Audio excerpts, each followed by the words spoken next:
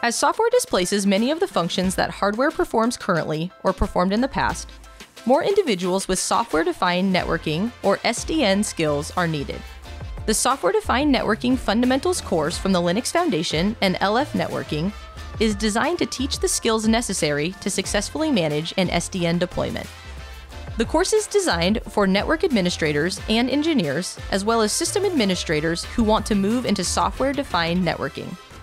By the end of the course, students will have a solid understanding of SDN, including relevant protocols, tools, and methods. You will also understand the OpenDaylight SDN controller, the role of Tungsten Fabric, how to write applications on top of these systems, and the tools used to simulate and debug network topologies. Enroll today and advance your networking skills.